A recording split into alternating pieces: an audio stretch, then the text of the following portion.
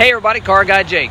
Talking about the new 2021 Ram 1500s. This happens to be a Rebel model that we've got on our lot and I'm gonna hop inside there and show you the new technology group.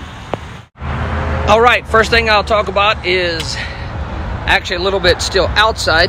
The new technology group comes with this LED for your cargo light and a camera back here, which I'll explain why that camera's back there in just a second. Okay, first part of the technology group I'm gonna show you is the rear view mirror.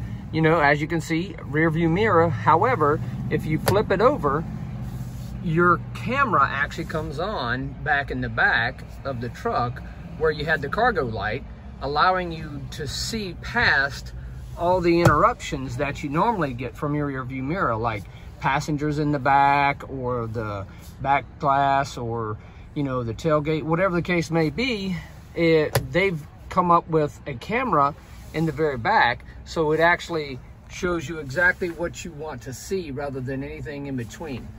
I thought this was a very good option.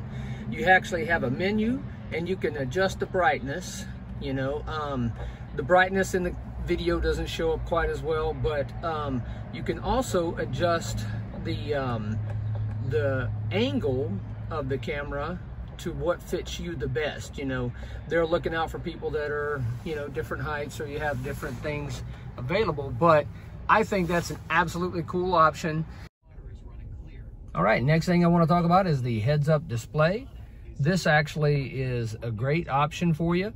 And not only do you get just a heads-up display, but you get the option of actually controlling that a little bit, going into your settings, and then display is on, and then you can change the content, the layout, you know, um, you can go standard, or you can go custom, and if you go custom and you click that to the right, bam. It comes up over here on your, your large 12 inch display. So you can basically make it exactly how you want it. You know, um, whether you want the speed, your turn-by-turn -turn directions, you know, your uh, driver assist alerts, so on and so forth.